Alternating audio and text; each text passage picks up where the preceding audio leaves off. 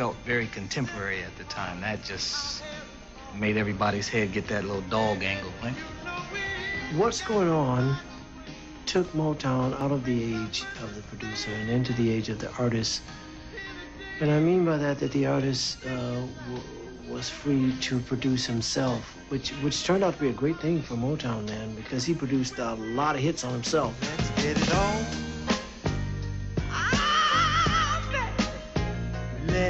Get it on. Let's get it on. Let's love, baby. The whole program with Motown is to teach and to learn. And so many of the artists, after they work with other writers and other producers that were talented, their own creativity would, would, would come out and they would realize how it's done and, and do it. We're all sensitive people with so much to give. Understand me, sugar.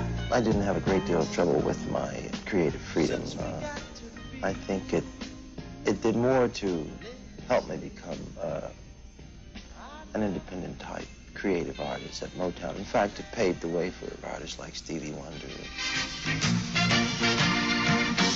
Everyone's feeling pretty. It's July.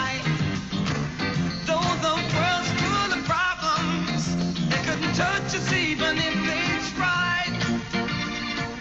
The fascinating thing about how Motown became adaptable was you look at the 70s, all of a sudden Stevie Wonder said to Berry Gordy, I want to make my own music.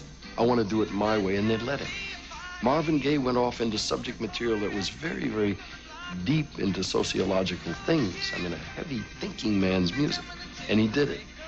Uh, it was just a reflection of what was going on with young people, and Motown adapted.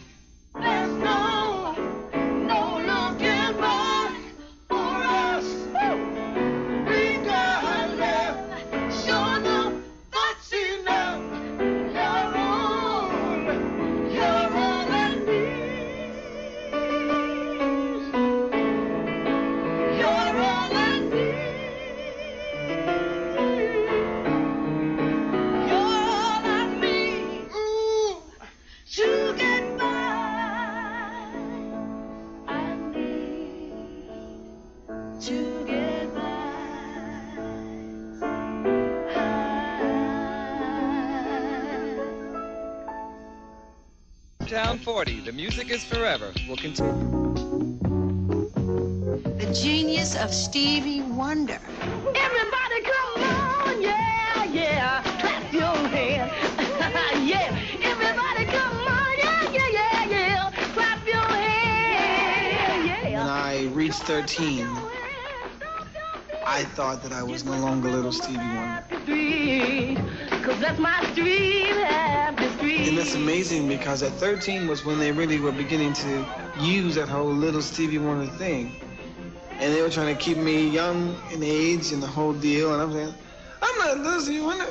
I'm Stevie Wonder. What are you majoring in? Ah, loveology. Really? Is that a big hot subject now at school? Fantastic. Yeah? what are the final exams like?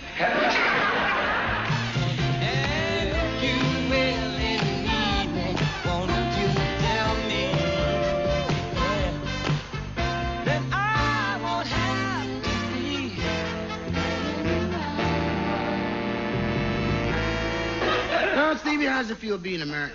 Oh, you, you don't mind me saying you're married now, do you? I don't want to mess up your action. You've already blown my accent. A lot of people talk about the whole thing of me reaching 21 and everything happened and everything broke and everything this and I begin to rebel and whatever. really um, it starts anytime that I get uh, bored with what I'm doing.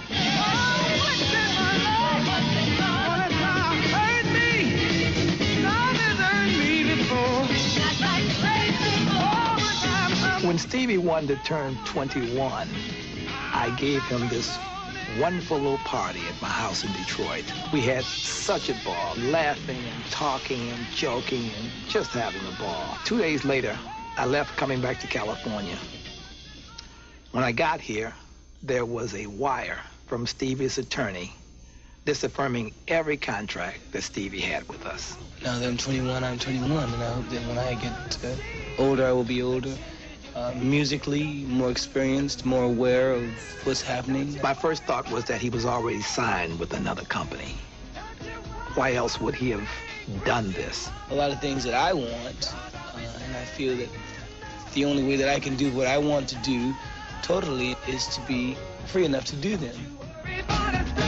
He made me pay him $13 million, which at the time was unprecedented. I felt like I was being held up by my own son almost. And I thought it was just a whole lot of money. And it turns out to be that it was probably the best deal I ever made.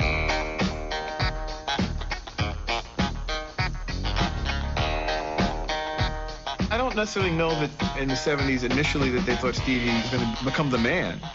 Stevie was going to become the most important musician of his era. That Stevie was going to be the greatest songwriter of his era.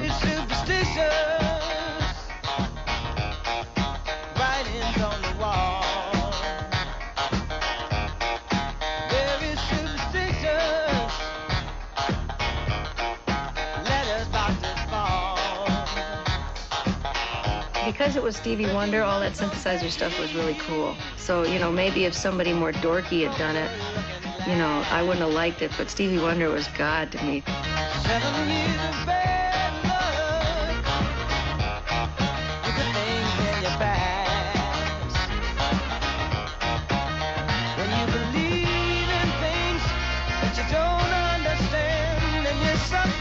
He just worked these synthesizers so beautiful. The songs were just so right, and they, they all had the right grooves just from cut to cut and band to band.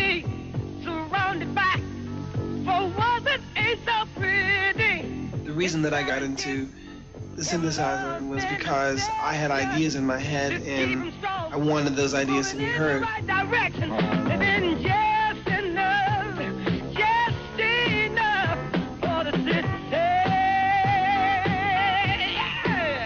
There are people that don't want to hear about uh, people talking about social issues. There's some that feel when you talk about these things, some people don't want to hear that. Powers keep on lying. All you people keep on dying. Well, keep His clarity of purpose and his clarity of existence and his um, ability to inspire and extract all that's good out of a crazy world is just amazing. so darn glad he let me try it again. Cause my last time on earth I lived a whole I know